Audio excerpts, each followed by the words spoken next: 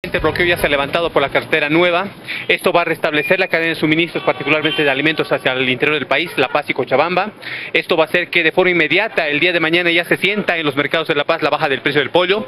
Hasta el día de hoy se está cotizando todavía en 16 bolivianos el kilogramo, pero ya mañana vamos a tener una baja sustancial y paulatinamente vamos a volver a los niveles que estábamos anteriormente al bloqueo, es decir, de 13 bolivianos el kilo aproximadamente aquí en el departamento, ¿no? Por supuesto, es así. Estamos, como les he señalado ya, eh, coordinando con diferentes instancias del gobierno central a objeto de eh, regular al sector intermediario, ¿no? Pero dar las certezas del caso de que el día de mañana ya el precio del pollo va a empezar a descender de forma paulatina hasta retornar a los niveles previos al bloqueo. Sí, como lo señalaba anteriormente, eh, Cochabamba se provee en su integridad del 100% del pollito bebé produce en Santa Cruz.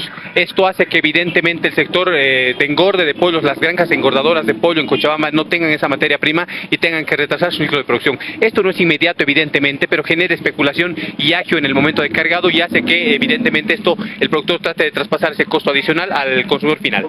Tal cual ha sucedido todo el año, mis hermanos, ustedes saben que tenemos siempre picos de estos precios de 16 bolivianos, pero pasados estos problemas de conflictos, el precio va a empezar a descender como se tenía antes del, antes del paro, es decir, estamos hablando de 13 bolivianos el kilogramo aquí en La Paz.